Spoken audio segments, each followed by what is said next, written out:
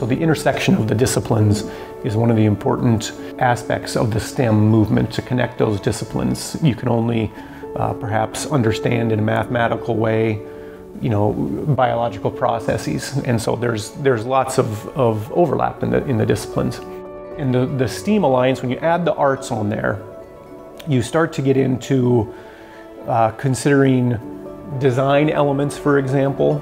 And so the best example of, of uh, STEAM, STEAM thinking at work uh, would be the development of the iPhone. There's lots of technology uh, involved in there, lots of science involved in there, from you know the circuitry to the materials uh, being used.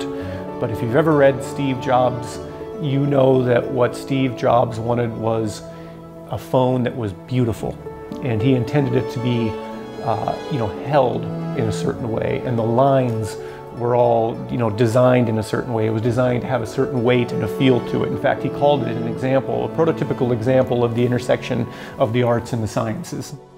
That's the intersection of, of STEM and STEAM is to, you know, bring beauty and feel uh, into STEM-like projects. And I think it's a wonderful and appropriate intersection. And I think the disciplinary connections only strengthen each of the disciplines individually.